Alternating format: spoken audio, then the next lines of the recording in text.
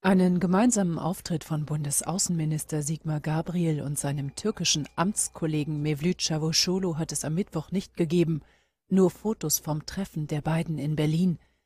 Der türkische Chefdiplomat verwahrte sich später am Rande der Tourismusbörse ITB gegen eine Einmischung der Bundesrepublik in den Wahlkampf in der Türkei. Deutschland solle es unterlassen, zu dem für Mitte April geplanten Verfassungsreferendum Position zu beziehen. Hinter deutscher Kritik an der Türkei sehe er auch Islamfeindlichkeit.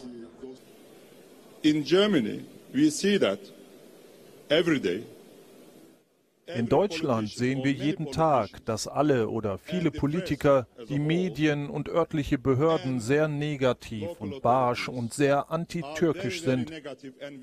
Und wir sehen sogar islamophobe Stimmungen.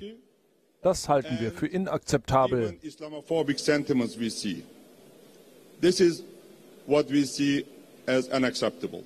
Kritik und Kommentare sind in Ordnung, aber antitürkische und islamophobe Stimmungen und Tendenzen sowie Populismus sind eine sehr gefährliche Bedrohung. Die Türkei wolle die Freundschaft zu Deutschland aufrechterhalten.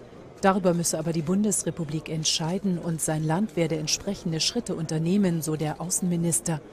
Er gab zudem an, mit Gabriel über einen möglichen Wahlkampfauftritt von Präsident Recep Tayyip Erdogan hierzulande gesprochen zu haben.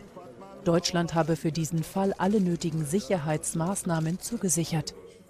Gabriel sagte dazu seinerseits nichts. Der SPD-Politiker betonte, Deutschland wünsche sich eine Normalisierung der Beziehung zur Türkei. Er forderte von der Regierung in Ankara aber auch im Wahlkampf die Einhaltung von Recht und Anstand.